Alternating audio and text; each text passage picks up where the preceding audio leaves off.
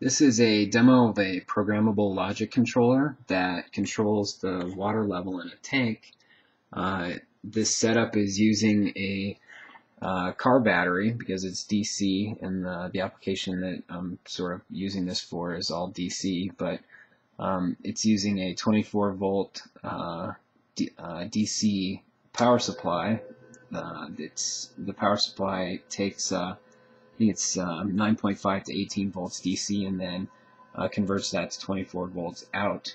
Um, then it's using a, uh, a Click PLC that I got from Automation Direct and two um, capacitive proximity uh, sensors that are attached to this container along with a uh, water pump, a 24 volt uh, DC water pump. Um, the tank is actually connected to a tube that's up here. Uh, it's just using gravity to uh, to let the water sort of flow back down into the into the container and, uh, and fill it back up. You can see the lights on the uh, sensors come on as the water level rises, and then uh, the pump turns on and pumps the water back out. So as this water as the water gets to the uh, below the bottom sensor, yeah, the pump will turn off and uh, wait for it to fill up again.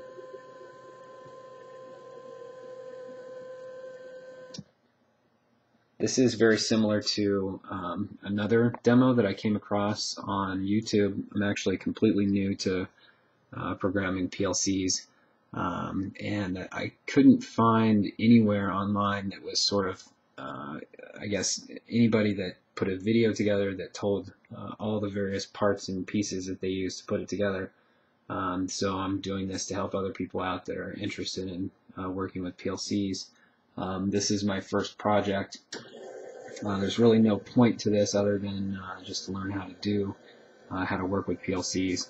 You can see the uh, ladder logic program that I'm using is actually um, uh, it comes with the Click software, comes or the uh, Click software comes with the PLC that I'm using. Um, it's actually very simple to use. Uh, so um, I won't go through and explain all this, but basically the um, there's a uh, inputs, two inputs, X1 and X2 um, that send uh, the the contact out, and if either of those are true, um, it's actually also connected to uh, to LED lights. Um, so when the water tank is um, at a level that's acceptable, um, the light is green. When the um, when the pump is running, the light turns red, and all of the outputs come on.